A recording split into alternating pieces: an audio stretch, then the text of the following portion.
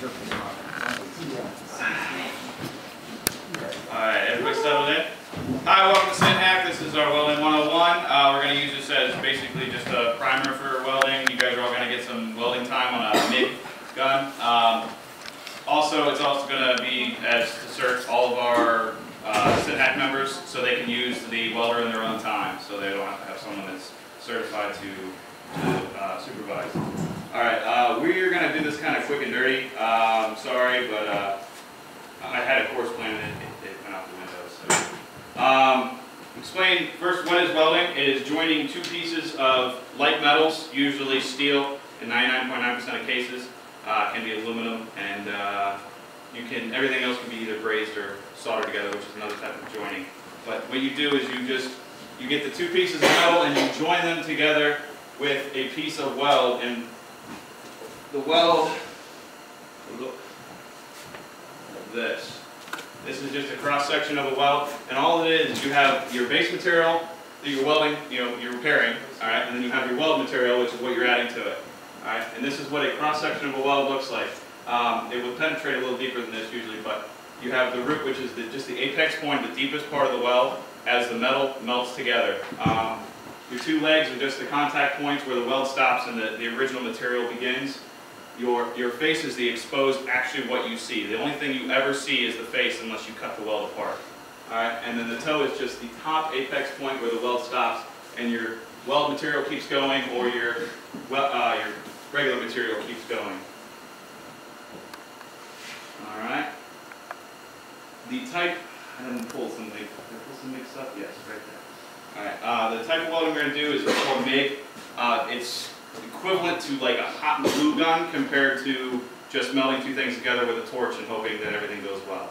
Um, this is what the end of the nozzle looks like just blown up, and this is in the middle of the well. Uh, you have the MIG gun, which I failed to get a photo of. Mike, can you go grab a little harbor freight water? Sitting on the bench. Um, and when you pull the trigger on the, the MIG gun, three things happen. Kind of shielded one. Um, your welding wire, which is in the center of the gun, comes out, like just like a hot glue gun, all right? That is then electrified. It's right there next to the ground. Stop detro- destroying the dungeon. Anyway, uh, Devin, just, just gonna drop it right here. Watch your leg. When you pull the trigger on the, on the MIG gun, okay, this is just a close-up of the nozzle, a couple things happen. You have shielding gas, which this is not a non-shielded model, but if you have a shielded model, gas flows out around, you can see the shielding gas, and what that does is just, as the metal melts, it wants to instantly rust and oxidize. That just prevents all that from happening, because you'll start rusting inside the weld, which is called porosity, and you just get a bad, crappy, weak weld.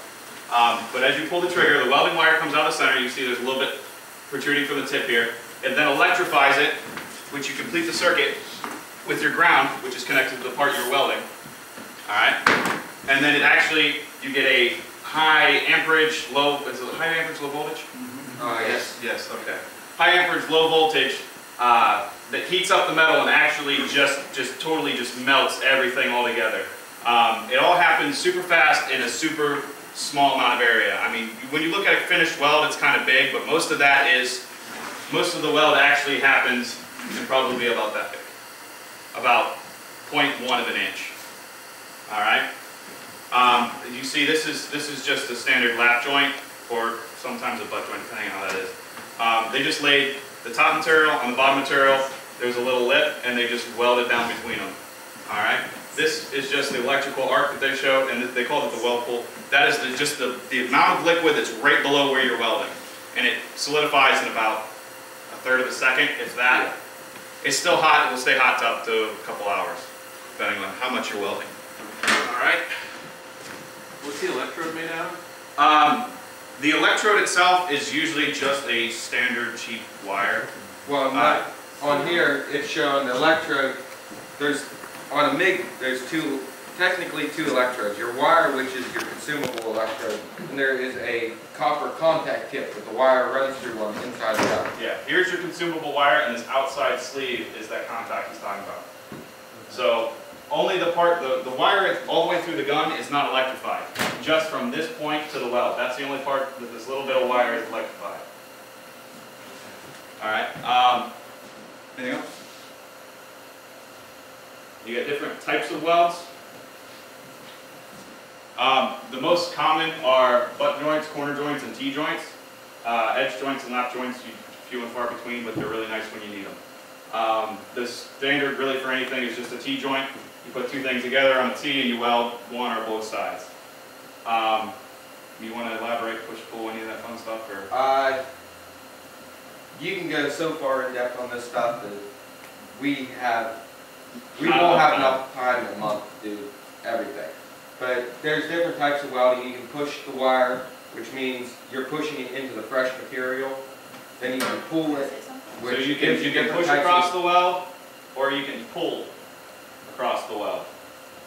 And each one does different things depending, we're not gonna go into that because for most of the stuff, uh, we're just doing this as a general course. You got, you broke a hitch on your trailer for your, your car, or you have a little project you just need to weld together, like this, we welded this, I think it's this one, it's one of these wire chairs, we welded one of these together.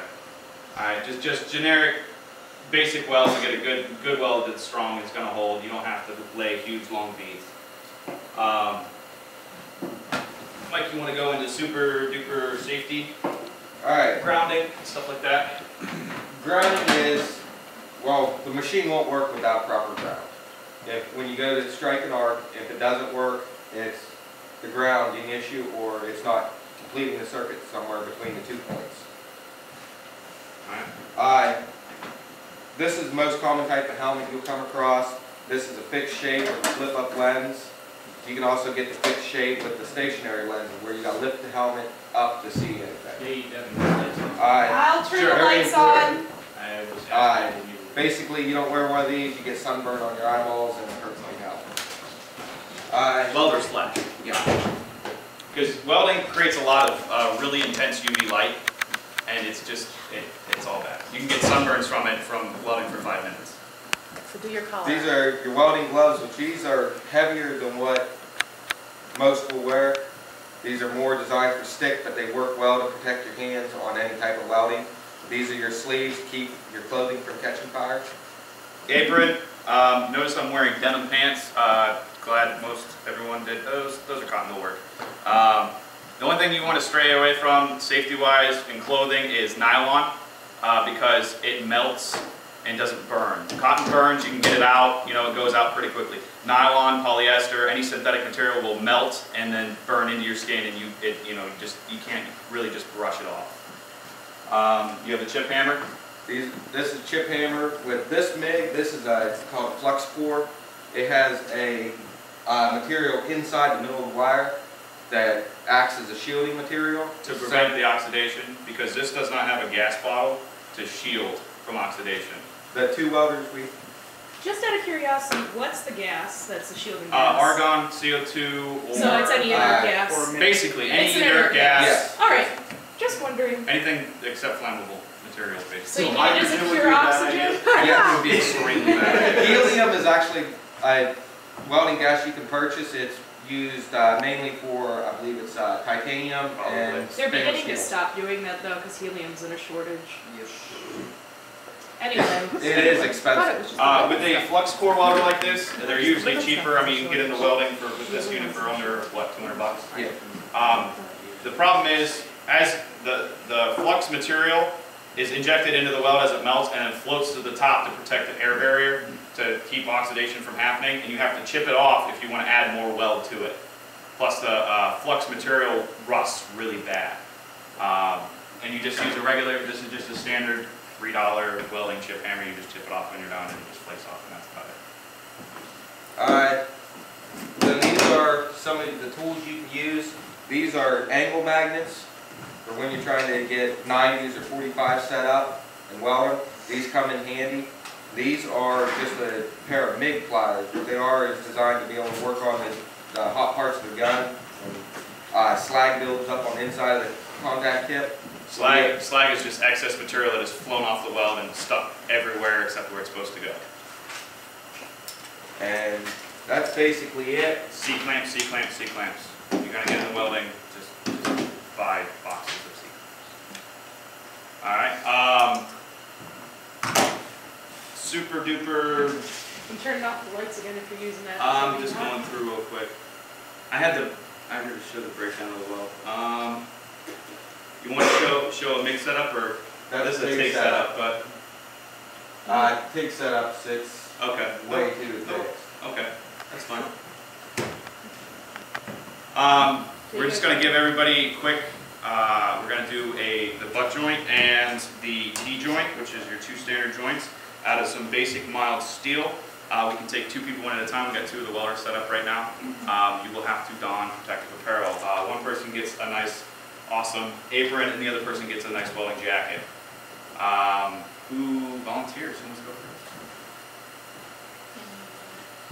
I was gonna have you teaching.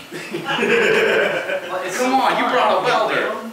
What? It's so fun, can you blame them? Okay.